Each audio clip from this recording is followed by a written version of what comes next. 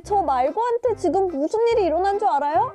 예수님의 제자 시몬 베드로가 칼로 제 귀를 잘라버렸어요. 무슨 일이 일어났는지 말씀을 함께 읽어볼까요?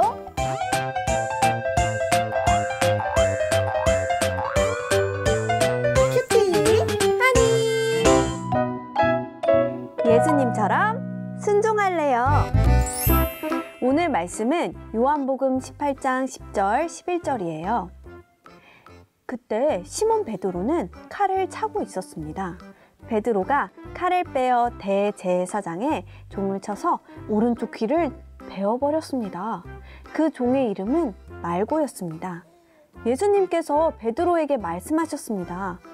칼을 집에 꽂아라. 아버지께서 내게 주신 잔을 마시지 말란 말이냐. 어두운 저녁이었어요.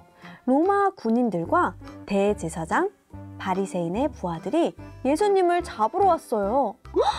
너무너무 무섭고 두려운 상황이었어요. 하지만 함께 있던 제자들 중에 시몬 베드로는 예수님을 지키기 위해 칼을 빼들었어요. 그리고 대제사장의 종이었던 말고라는 사람의 귀를 칼로 싹 잘라버렸어요. 예수님을 잡으러 온 사람들로부터 예수님을 지키기 위해서 말이에요. 그런데 이상하게도 예수님은 예수님을 지키기 위해 칼을 빼든 베드로를 말리시며 이렇게 말씀하셨어요. 칼을 집에 꽂아라.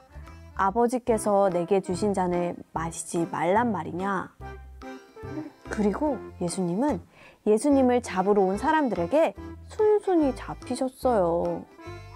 예수님은 도대체 왜 그러셨을까요? 예수님을 지키려 했던 베드로를 칭찬해 주셔야 하는 거 아닌가요? 왜냐하면 예수님은 자신이 사람들에게 잡혀, 잡혀가시는 것이 하나님의 뜻임을 아셨기 때문이에요.